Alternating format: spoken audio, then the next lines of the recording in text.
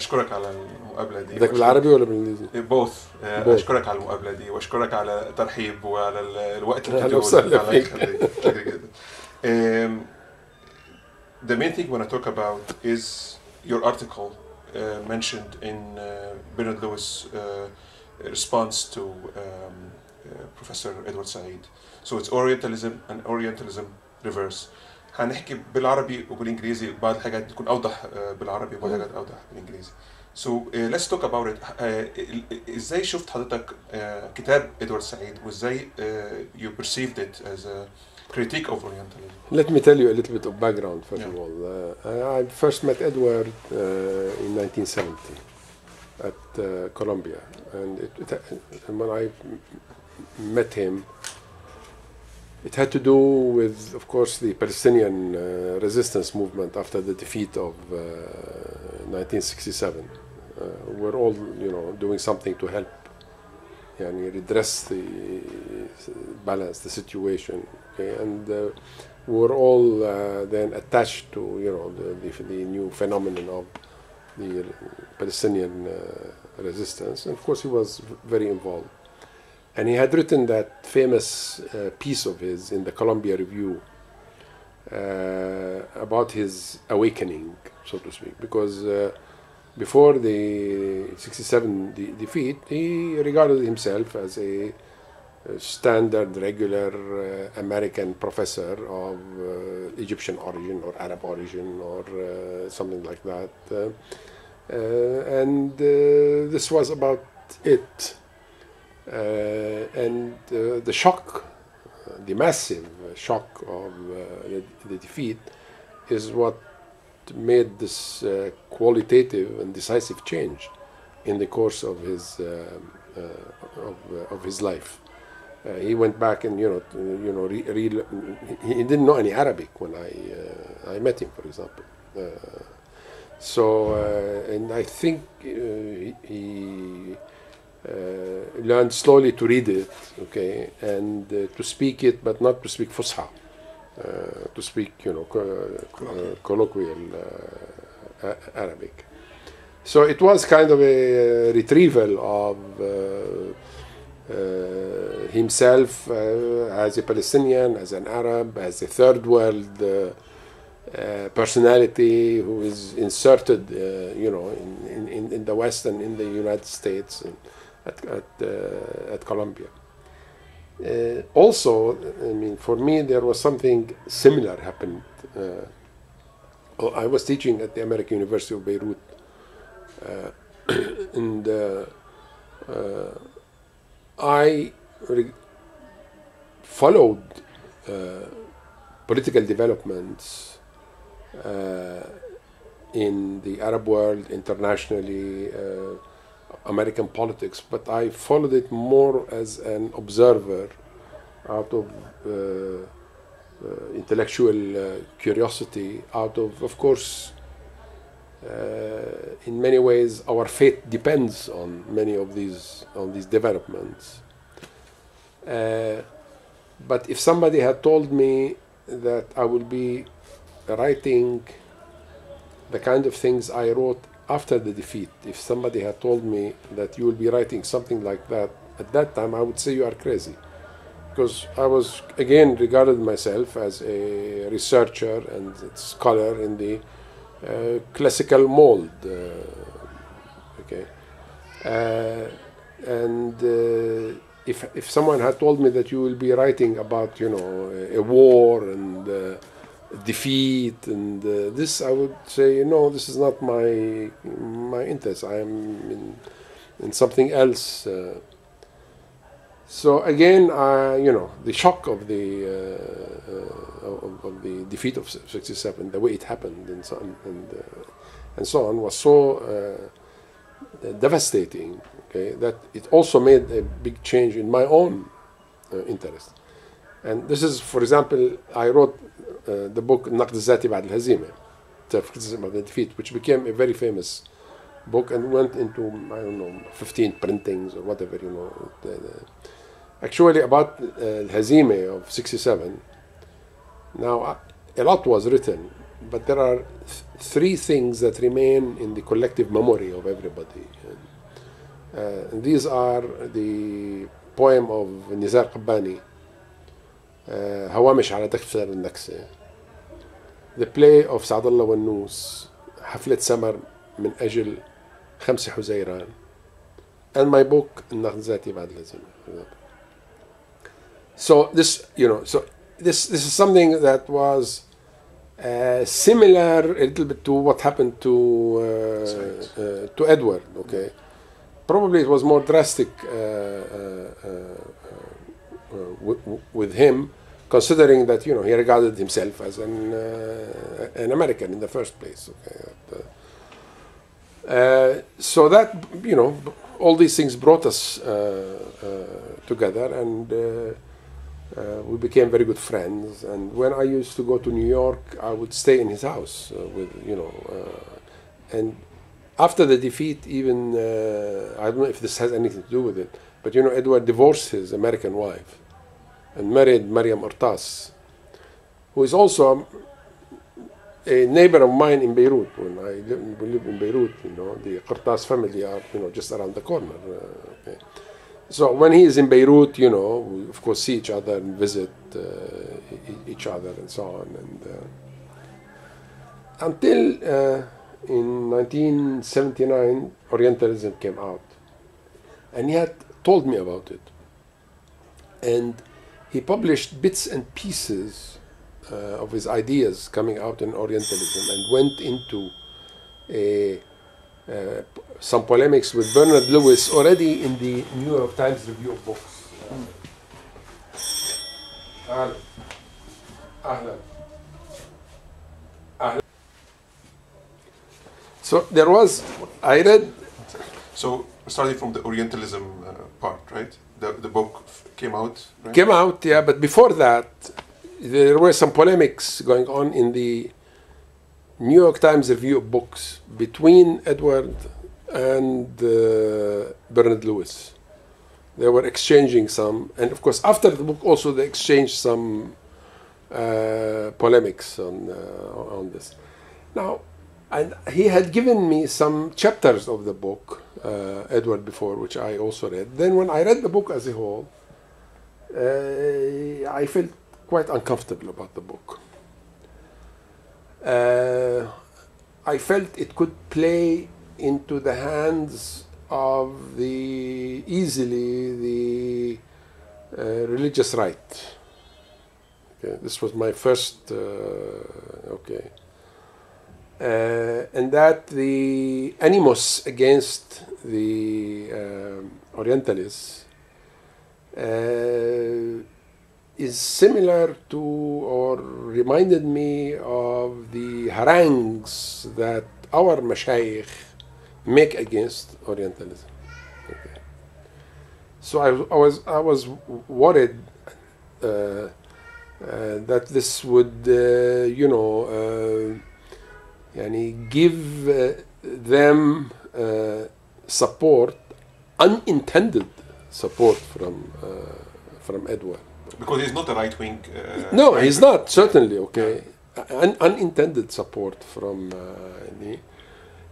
and of course it comes with all the yani weight and credibility that usually comes from anything that comes from the West and comes now Columbia University comes from you know the United States and it's as if these people would say ah well, okay من فمه أدينه يعني okay, there you know it's coming from uh, so this was my first uh, I was you know that's why I was not co- comfortable with it uh, I felt that you know what what, what you, you you needed was a you know more uh, yani, if you want to criticize uh, uh, uh, uh Orientalism, fine, it's like any other field.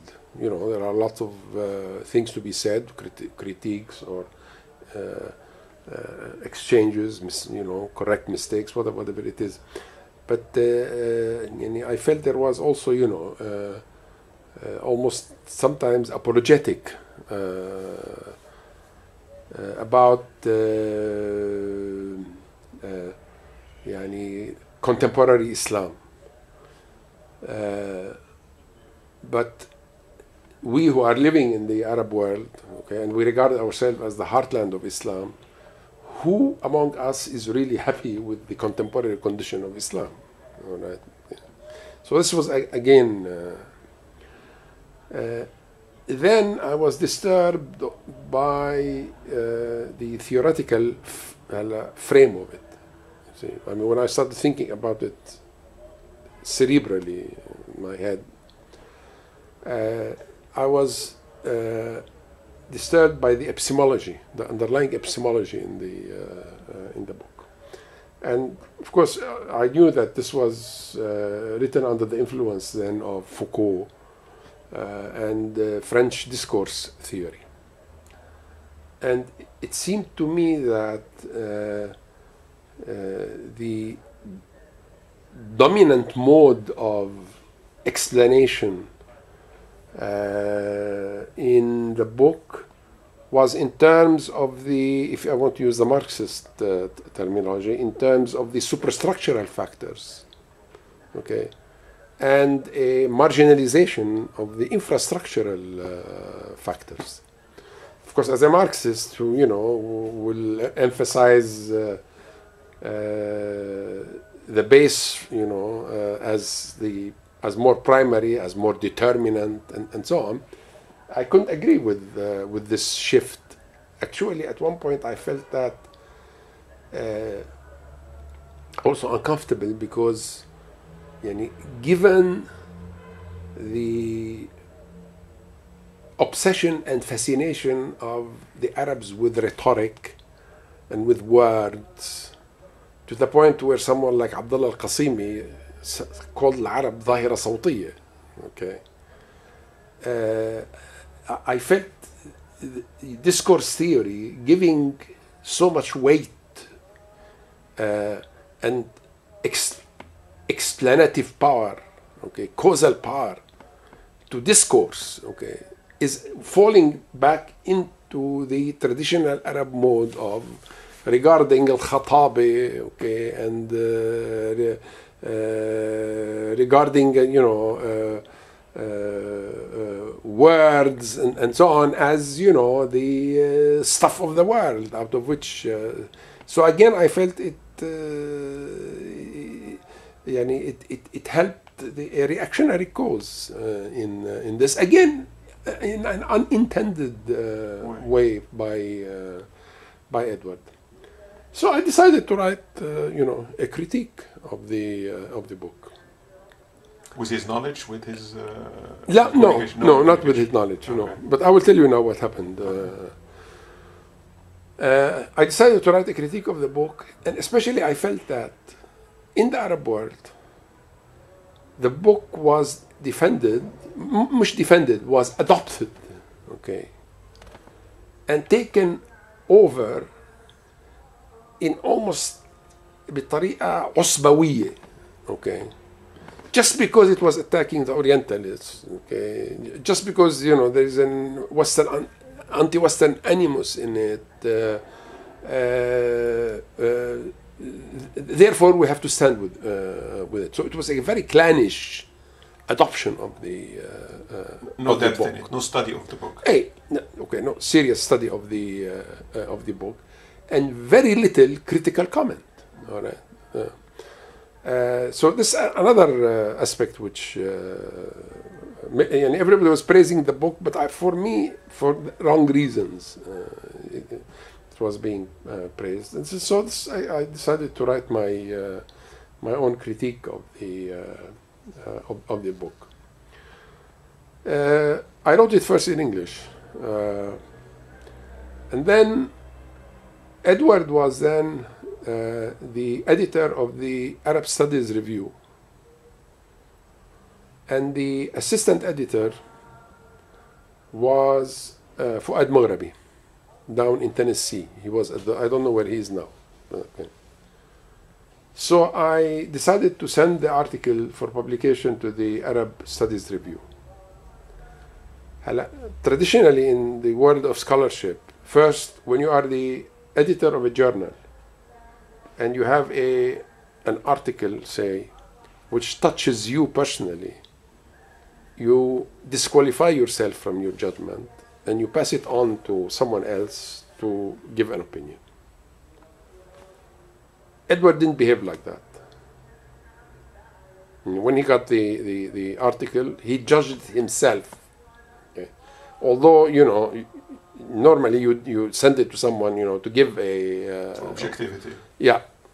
He's very sensitive. Also, yeah. yeah, uh, I I think this is his biggest fault. I think is that he, you know, he criticizes a lot of people. Okay, he has called some of the big minds uh, in Orientalism and so on uh, racists and imperialists and uh, uh, lackeys for the colonialists and so on. But he can't take a word of criticism himself. Um, also, I know that because of the conventions. Uh, of uh, publishing and objectivity and so on. So, in those days, when you send an article to the journal, you send the ribbon copy. Okay? So, I sent the ribbon copy to the assistant editor, to Fuad Mughrabi, and sent a courtesy carbon copy to Edward.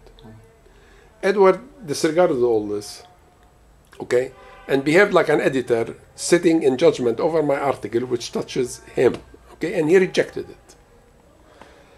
Not only did he reject it, he also wrote me a uh, very angry letter, okay, which I still have, but this is a personal communication, okay, uh, to which I also uh, uh, replied.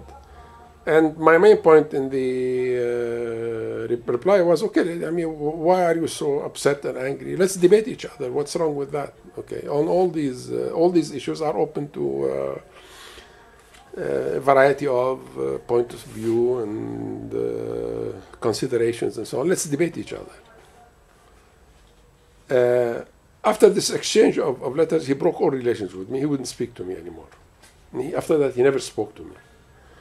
And I know that sometimes we are invited to the same conferences and so on. He never came to any one of them, including one of the big uh, meetings of the uh, uh, uh, what is it called the Arab American uh, يلي كانت Mart Clovis Maksoud, Raisita. Yeah. The uh, ADC or something like that? Uh, uh, yeah. Defamation, Arab American discrimination. Anti discrimination oh, Okay. شيء اوكي اللي كانت مرت you know هالة Yeah. Okay.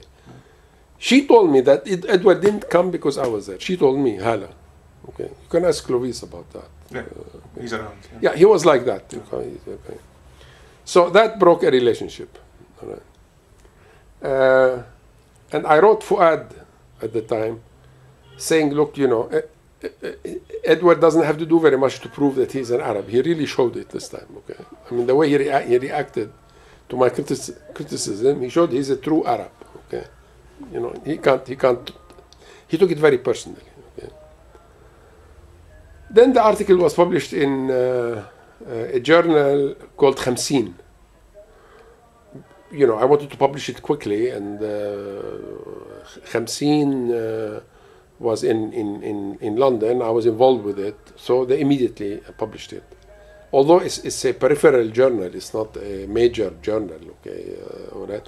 But the article was very quickly picked up in the field and you know was circulated and became uh, one of the main uh, as Bernard said uh, you know one of the main I, I, I don't I don't want to call it myself uh, but one of the uh, main pieces on this debate in uh, on uh, Orientalism Absolutely. Yeah.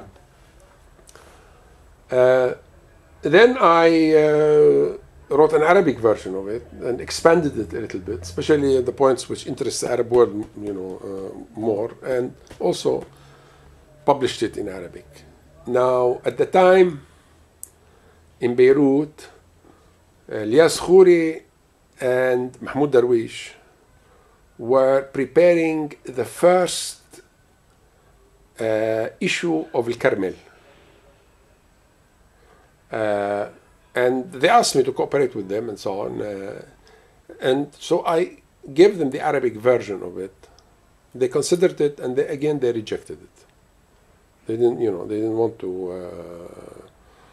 Uh, and uh, not that they rejected it because they thought it was, you know, uh, unworthy of publication or not up to standard, but be- be- because of, you know, for basically political. Uh, Environment. political reasons. I know it- the, the journal is a Palestinian journal, okay, and this is a critique of a you know very prominent Palestinian and so on. So all sorts of stories. So they didn't want to publish it.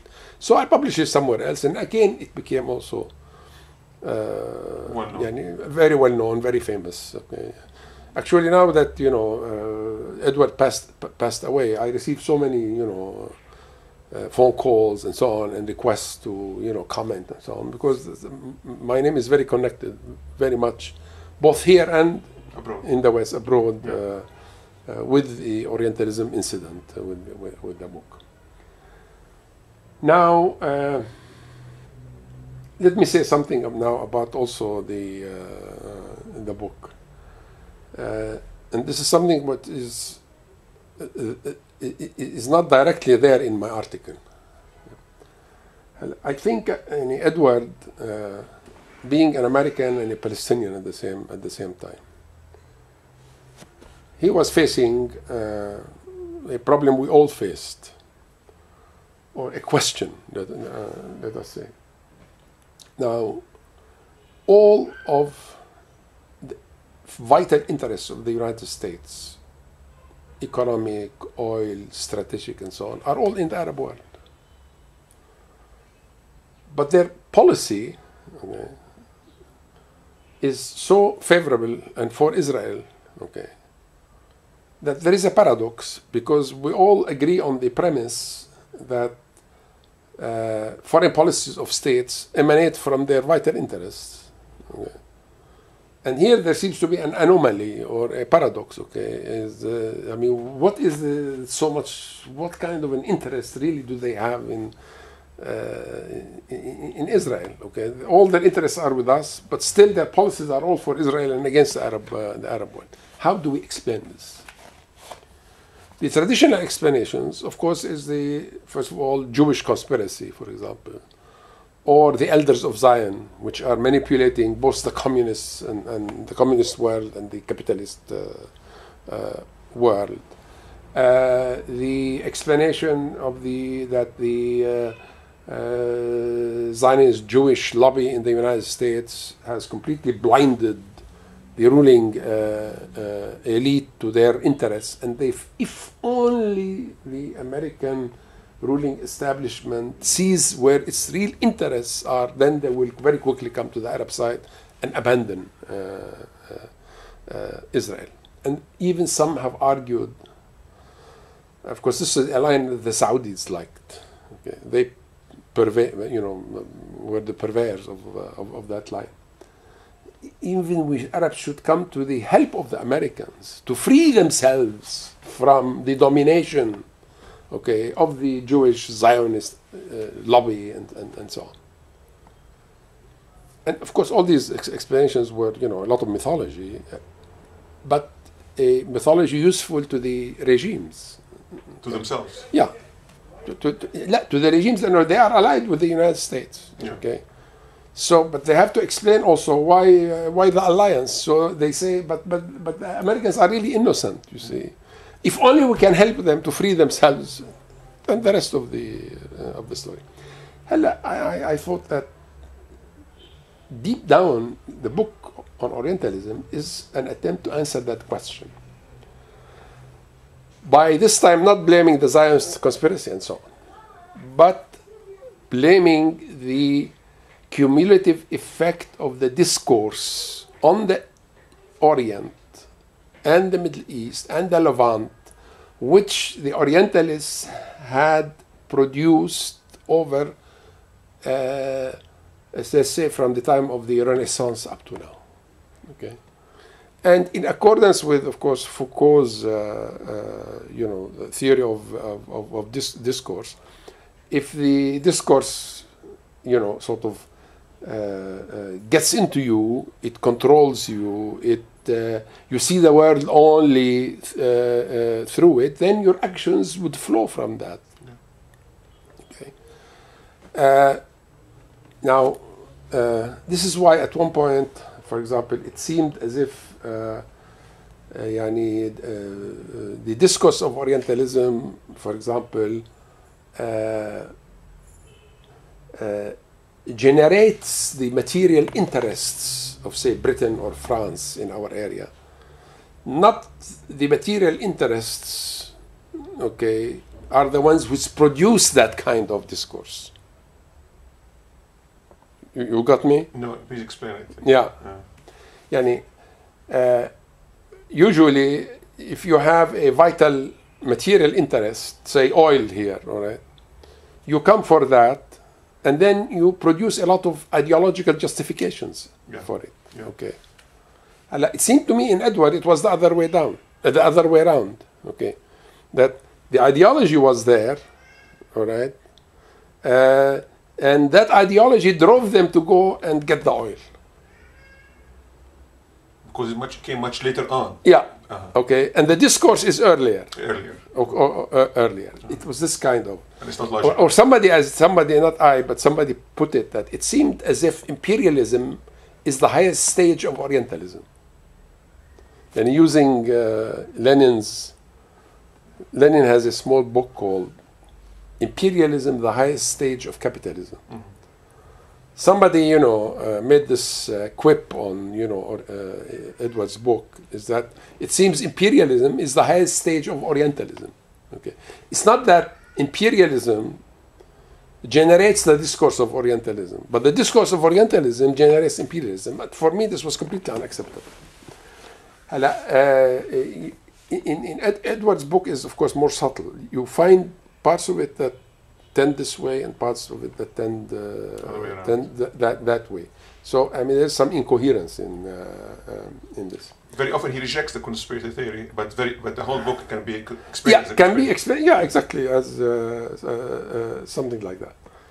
So I, you know, I, the, this, uh, uh, you know, uh, discourse uh, epistemology, okay, uh, discourse being you know decisive, determinant, and so on. I re- I rejected that and criticized the uh, uh, that uh, that approach by by by Edward. and then, yeah, you know, I f- felt that some of the things that critical things that the Orientalists have said about us, but we as as Arabs who are doing our own self-criticism, all right, we say the same thing, okay, and we can say it even you know harsher because uh, uh, when you are, you know, it's like when you are joking about yourself, you can do it even more harshly, okay, than when uh, an outsider is doing or, or uh, another person is uh, uh, is, uh, uh, is is is uh, doing it in uh, in this. Uh, so my my my take on the uh, uh, on the book, especially had to do with you know the epistemology uh, uh, uh, un- underlying it in, in this.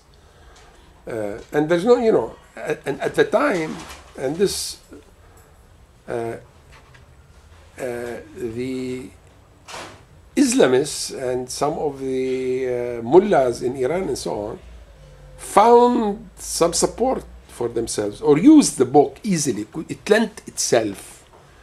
Okay, and Edward explained, I remember then saying that this is not what I meant, this is not what I, I wanted. Then we come to the Orientalism in reverse aspect of it. I also felt that, you see, okay, uh, Edward was saying that uh, Orientalism had divided the world into Occident and uh, and Orient, and either openly or implicitly, there is the superiority of the Occident over the the Orient. But I felt that in the end, in the book, okay, we did not transcend this duality. Okay, we did not go to a higher uh, uh, synthesis. Okay, again, يعني uh, the world is divided into Orient and Occident, and this book is defending the Orient against the Occident. It's almost doing Okay, the same yeah. thing.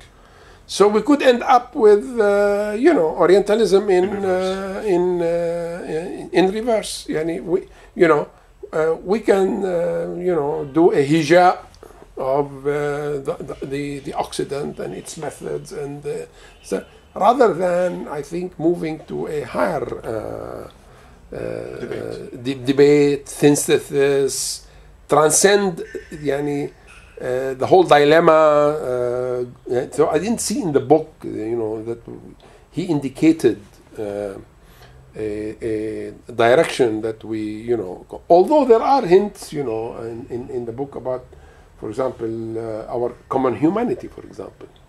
Okay, but this is this is just a passing. Uh, uh, phrase there, or uh, rather than you know that our common humanity could transcend, uh, Or differences. uh, yeah, this. He goes on with that later with humanism, with uh, our common humanity. Eh, later books. هو uh, Edward, I think in his later work, uh, he took into consideration, without ever admitting it, some of the criticisms he got for Orientalism. He certainly moderated His views. his uh, discourse theory and Foucault influence, and I think he, you know, uh, the aspects that could lend themselves uh, to the religious right and so on. All this he eventually, I think, withdrew, Yeah. and that's to his uh, that's to his credit Yes. and on uh, uh, on this. So we'll go with the article. Um, you mentioned that say, it doesn't belittle the achievements of uh, of the Orientalists, Well, the technical achievements. technical achievements. the technical achievement. He doesn't deal with them very much, okay? But the fact, for example, that they, you know, edit so many manuscripts, they introduced all the, of course, modern methods of uh, scholarship. Uh, they, you know, revived uh, dead languages like, you know, Champollion and, you know, Hajar Rashid, the Rosetta Stone, and uh, etc. Uh, this, uh, but he, he also, I think, I said this, I think he also he, he didn't discredit he, he didn't you know but he also does not give them credit for it. He, he just neglects this uh, the technical Achievements. achievements, of uh, of uh, the uh, orientalists. And what i you know uh, also find lacking is that you see is that yani um, the our mullahs and shaykhs and fuqaha and so on, of course, they have massive learning, but there's no critical mind there at all. That's right. Okay, and at least the Orientalists introduced okay some uh, critical apparatuses in which to d- deal with the uh, with the uh, texts, with the traditions, with the hadith, with the okay. Now they may have, you know, they made mistakes, they misread, they okay, but the point is that there is a new, a different, and and a, a new methodology to deal with To this. follow. Yeah, to follow. Uh, you see, rather than the uh, uh, massive learning of our uh, uh, uh, uh, fuqaha, but there is no real argument or discussion or re-evaluation or uh, okay so there is this there is assertion argument by assertion and apologetics yes yeah. so the, the, i would say that the christianity is ahead of us in this matter for centuries oh, um, uh, oh, least oh, oh, oh yeah. light years uh, yeah. i mean and not christianity i mean uh, uh, yani uh, Christian culture or the culture in, in, in, Europe, which is you know basically basically Christian, was able to uh, develop these, and of course because they had the scientific revolution. I would say also from Martin Luther's Reformation. Yeah, the Reformation, and I think ultimately what what yani, uh, yani the Reformation, had it not been, I think, for the scientific revolution, could have been evaporated. Eh, you know, eliminated. And what, what, what finally, I think, you know, the decisive moment was the scientific revolution. We don't have any similar experience of reformation that we can say here was a turning point. Anything similar to that? Yeah, I mean, when, when uh, yeah, I mean, this, I think decisive turning point, no.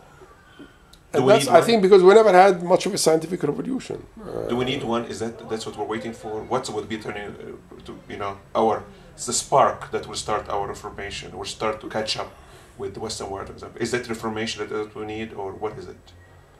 Well, certainly you need a big, uh, big reformation, especially in the theology and the, uh, and th- these are things that are you know people like Muhammad Shahrour and uh, uh, Judge Ashmawi. Ashmawi and so on are groping, uh, Yeah groping for. But I think, yani, you see, if you go back to what we call our Nahda, the, that period, the uh, Abbasi period, for example. لا لا لا our Nahda in the early uh, late Century. 19th century, Yeah. early uh, 20th 20th century.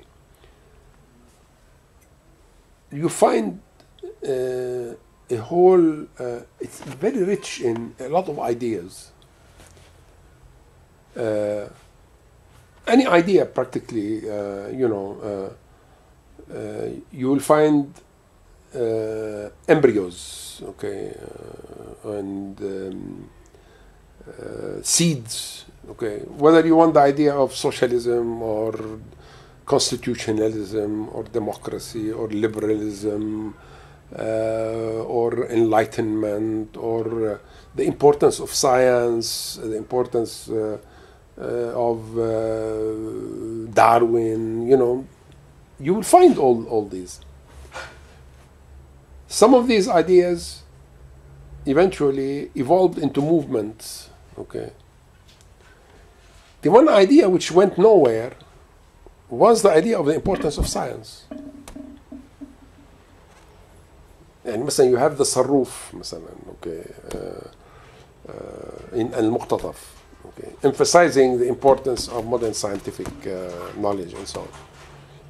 And you had others who were for example emphasizing uh, nationalism and emphasizing socialism. Nationalism we had development in it. Okay. Socialism we had development uh, in it but in science we had no, nothing it, it, it, it you know it was aborted there it died there uh, okay So we can say there is no con- scientific cont- contribution from the Muslim world or the Arab world since the maybe the Abbasid period or like six centuries ago. Nothing to mention except lately with the Nobel prizes uh, here and there. yeah but it's all done in the west it's not you know Yeah. just because he happens to be a muslim is not uh, this is like uh, abdus salam in uh, and, and Abdus Salam, you know, died with very bit, with a lot of bitterness because the the Pakistanis will not really uh, Help him out. no, accept him because he's Ahmadi. Yeah. Okay, he wins the Nobel Prize, but he's Ahmadi.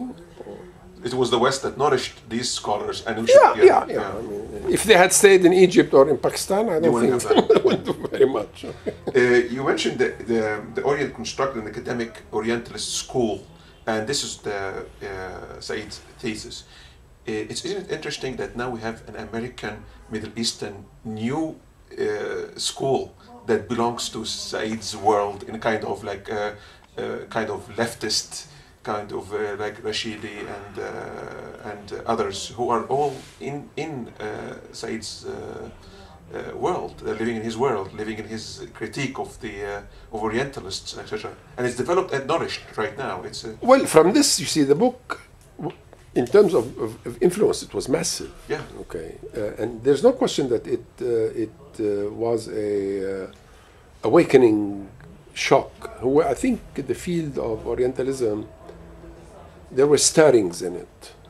When Said's book came in a way at the right time, uh, there were stirrings in terms of okay, let's see stock taking. Okay, where are we? What we have done? What we you know. Uh, and there were already some critiques, like for example Anwar Abdul Malik's uh, published, you know, yeah. in Diogenes, I think uh, he published a. Uh, there were a number of indications that the field was ready for some kind of a yeah, before Said. And this uh, before before yeah, but Said came and you know this explosion, and in this it is very beneficial. Yeah, I think, yani Orientalism the training of Orientalists in area studies and so on after Orientalism is different from the way it was before uh, uh, uh, Orientalism.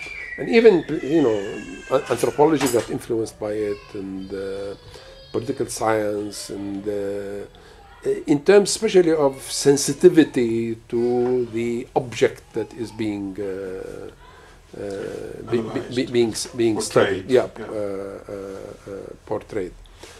Uh, from uh, this point of view, yani, you know, I will never underestimate uh, uh, the significance of the uh, uh, of, of the of, of the of the book uh, in, in this. Uh, and uh, some even, you know, for example, the field of what is called subaltern studies uh, traces itself to uh, Said, its origins uh, to Said. Post-colonial theory. Okay. Uh, I'm not very sympathetic to myself to to, to you know this kind of approach. Also traces itself to to Said's Orientalism. But I find that you know this, the post-colonial, first of all, the post-colonial theories are happen all are in the West. Okay, so it seems to be a problem of uh, yani emigre intellectuals living in, in, in the West who have evolved a certain discipline which is almost closed on itself right. okay and they have evolved their own jargon all right which uh, someone like myself who is you know won't, be accepted. uh, not, uh, I find difficult to understand, okay, because uh, you know I'm, I'm, I'm it, it, it becomes like an inside joke. That's right. I'm not part of the inside, and in, I'm part of the outside, okay. Uh, uh, but supposedly, their main concern is this outside, okay. But we, we, you know, we can't quite understand what they are, uh, Well, they're, what they're up to, what they are doing. They are okay. apologetic and they accept nobody except among their own. among their own yeah okay this is uh, so it, becomes a closed shop this uh, and actually i just received a you know uh, paper i haven't read it yet from an indian scholar who is, uh, lives in uh, uh, he's at, at the duke Uni- university who is- is making it seems from the title and from just looking also a you know thorough critique like that of uh, the subaltern uh, studies field okay over there. And there is some in india. And there is someone like ajaz ahmad uh, also you know uh, who being you know uh, an intellectual who is you know living in india residing there and, and so on and looks you know with a suspicious eye at this coterie of uh, uh, critics uh, and the discipline they have evolved as more self-serving okay over there than helping India or Egypt or uh, or the Arab world Uh, that's the critique of uh, Professor Lewis too. Over there, say the- this it was self-serving to Middle Eastern studies uh, and uh, actually of other of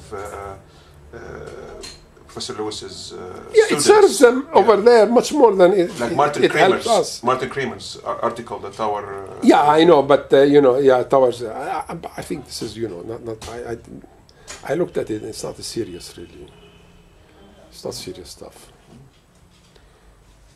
Okay, so we'll go to um, the idea that uh, the uh, Orient believes in the unseen, while the the uh, Western uh, will have a different kind of system. You mentioned that. If you can explain that, because I couldn't understand. Well, you see, now the uh, Believing. s- believing- yeah, some some this is MacDonald, okay. Uh, he's trying to explain, uh, say, to writing to the uh, uh, to the West, all right. Uh, y- y- you want to close the window? Yeah, it's okay. Huh? Maybe. uh, Yeah, okay, go- go ahead. Close it.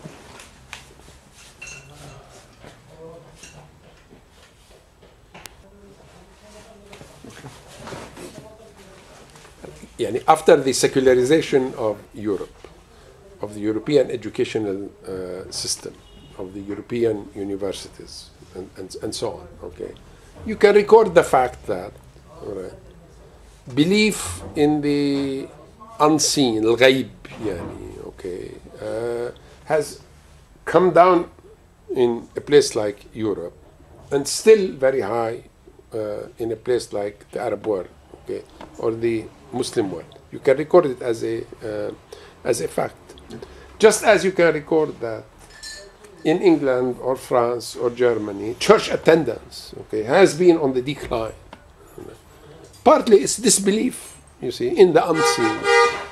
While with us, okay, uh, it's still very, you know, mosque attendance is still very high. Okay, yeah. If the Orientalist, if the Orientalist is recording this as a fact, all right, then I defend the fact. It's true. But if you are saying you are turning this into an eternal fact, okay, that for example the Europeans were always like that because of the the genes or the you know the gray matter in their head, and we are always we were always like that and we will always be like that, okay. Because also of you know our genes or gray matter or something uh, like that, then of course I will attack it. Uh, right. So here, Edward, I- I think, does not distinguish between whether MacDonald was simply recording a fact, okay, or whether he was making a judgment, a permanent judgment about a permanent characteristic of Occident and Orient. Okay, I have to. I looked. I think I looked, more, um, you know, in, a more discriminating way to say that if Gibb or uh, McDonald and so on mean to record the fact, it's right, it's true. And I was, for example, in Japan, all right. I immediately recorded that in Japan there are no gods. Okay, the word God doesn't mean anything. يعني here نحن we say يا ربي, mon Dieu, my God. Okay, there these words mean nothing. Okay, so I can record that that fact. All right, but I'm, I'm you know I'm I, you know I'm not making a permanent judgment for all time. All right, that uh, Can, we- can we separate you from your findings, or we have to associate you with your findings, or the subject matter you are analyzing? Do we have to know who's? Do we have to say who's saying it, or does it really matter? Can we separate the speaker from the subject?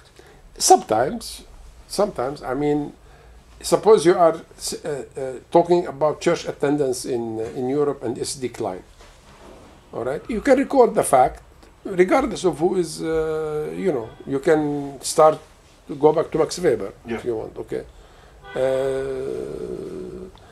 uh, So when should we? When should we make association? Because he's making I don't think I, I don't think there's a you know a, a, a general Rule. you know rule about, uh, about this. It, you know I think I, every case has to be examined on its uh, uh, on its uh, uh, Merits. merits. Yeah. Sometimes uh, it, it makes a difference uh, if uh, uh, someone say is a Christian priest, for example. Uh, uh, you could, you know, uh, and he's dealing with uh, with Islam. It's perfectly legitimate to analyze and look at what kind of baggage he brought with him. Is he apologetic? Is he critical? Sometimes now, committed Christians who write about Islam have become apologetic for Islam because they want to be apologetic for religion in general. Okay, and especially for yani, uh, monotheistic religions. All right. Okay. Earlier, you know, if they, you know they are writing from a more restricted Christian point of view, then they are more critical of Islam. And you take somebody like Esposito, for example. I regard him as an apologist, basically. Okay, and. Uh, يعني you know that has um, given the power of secularism in the world and so on. Uh, uh, uh, the there are various groups in you know uh, uh, in the Catholic Church among the Protestants, Mus- Muslim, who feel that we have to come together to uh, uh, defend the Against- idea of religious faith, Yeah. regardless of its content. Yeah. And this happened with Rushdie. You know that Khomeini appealed to the Pope against Rushdie. against Rushdie. Okay. يعني بل- for Khomeini, the Pope كافر رأس الكفر. Okay. Still, when it came with Rushdie, he appealed to the Pope. and I mention it somewhere in my book, all right, to help him to defend faith, okay, religious faith, which is under attack. So you put Esposito, Haddad in this school? Eh, which Haddad? I don't know. Uh, uh, uh, I forgot the first name. Eh, eh, she's one of. she's. I know. I know. Yeah. Hey, Georgetown School. Uh, yeah.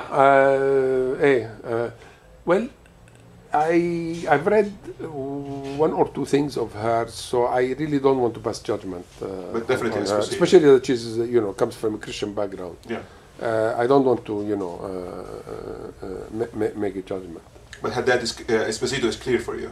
Yeah, Is for what Esposito, yeah, it's, it's clear. He's you know he's So what, what do you think when you see him? He's the one who always comes to the to the uh, forefront whenever the subject of Islam comes up. He's the one who'll be uh, analyzing it, talking about it. Would be the, right person to talk about Islam, or should be somebody more objective, or somebody who would see things um, like you should bring the seculars too to the to the forefront. Why is always the uh, apologetics or the religious uh, scholars who come out to the forefront? You agree with Matt, with me that this is usually the case in American well, media? in America, yeah, I think Europe is, is different. different. Uh, because I think the the overall function of religion in Am- in America is very different from Europe now. يعني أنا I have you know although of course uh, uh, American society is basically is a very secular society. Yes. Uh, okay. And uh, religious faith is of course very personalized and uh, privatized uh, and, and so on. But I think uh, their, you know, re- religion plays a role in the overall life, even in the business, in the business cycle, okay, which is very different from uh, from Europe. So the likelihood of finding, you know, an esposito in Europe is minimal.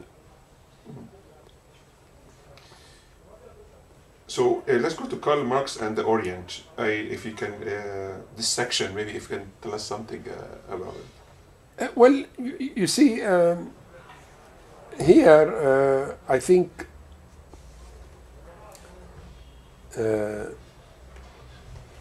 Edward, in these th- three, four pages in which he dealt with Marx, I felt that he was very reductionist.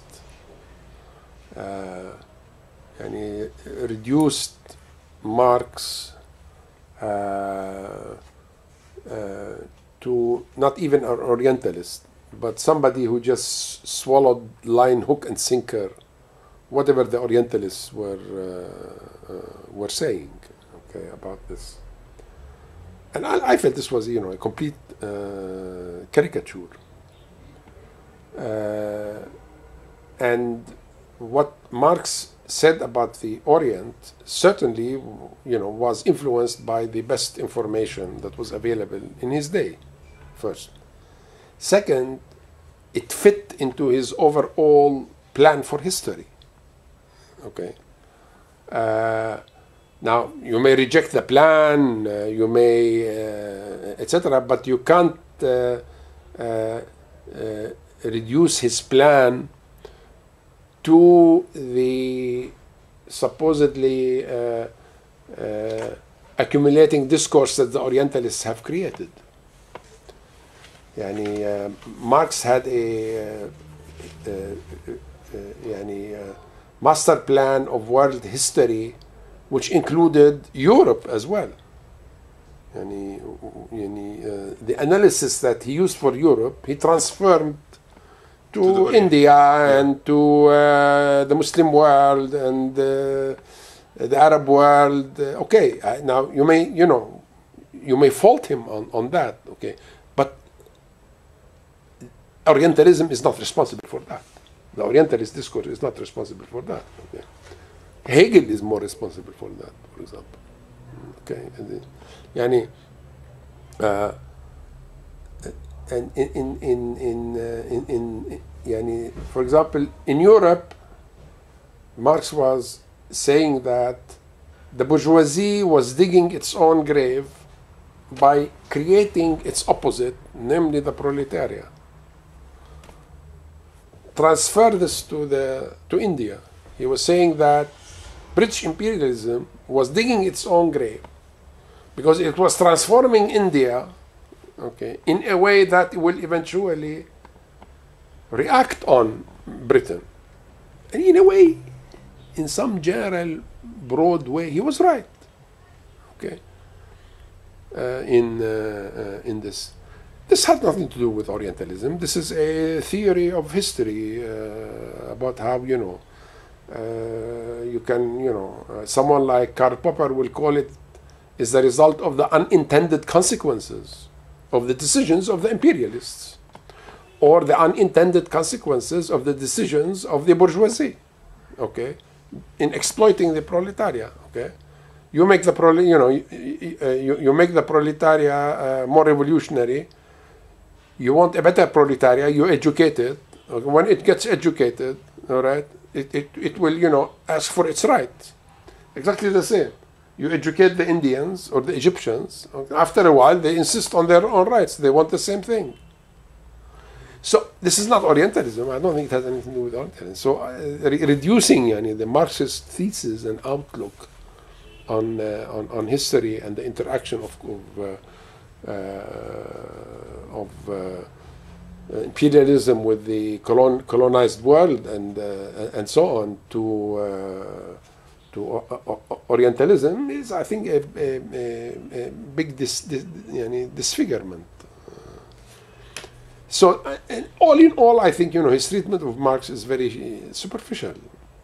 That somehow Marx, you know, had uh, sentiments for you know the colonized world and so on, but then somehow the uh, Orientalist uh, discourse usurped his mind and turned him into a European supremacist. Uh, okay, uh, I, I think this is you know doesn't stand any critical examination, and he never went back to, to that kind of uh, Edward.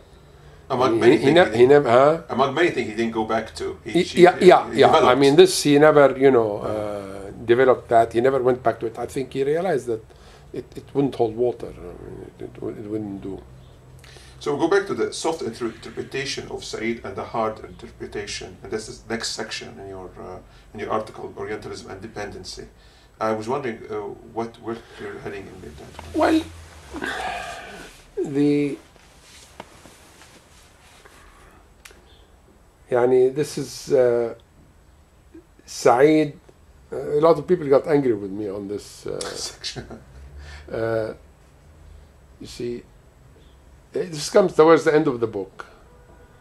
Said again going back to the problem, telling the Americans, but your vital interests are in uh, Arab world. in in, uh, in in the Arab world. Okay, uh, why don't you act on them? Okay, get rid of the Orientalist discourse. Look at the facts without the you know refraction in the prism of uh, Orientalism, and you will see you see uh, uh, uh, that your interests are in, in, in the Arab world. Uh, and anyway, the Arab world is, he says, you know, there is, is, is a satellite of the West anyway. Uh, okay. Um, and it's as if here he is uh, yani falling back in a more sophisticated way on the uh, traditional argument to the uh, that tells the American look carefully at your interest, do what is in your interest, and you'll find yourselves on the side of the Arabs. At the same time, there is the more radical, uh, revolutionary Edward uh, uh, Said, okay, uh, who supposedly wants the Arab world to undo this, uh, you know, relationship, the satellite relationship to uh, uh, uh, with the West, especially in those days. There was, you know, the dependency theory, okay, Yeah.